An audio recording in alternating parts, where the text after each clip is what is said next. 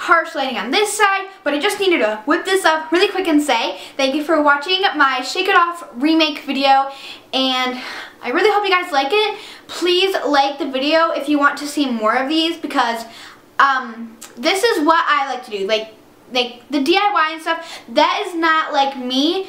Um, I like music and funny things, and so, yeah, I'm gonna do more of these, but I also want your guys's, um, forget the word.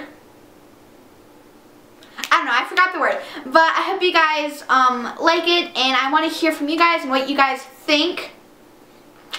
And what you guys think about the video, so yeah, like it, comment, and please share this video with Facebook and everything, and yep, and yeah.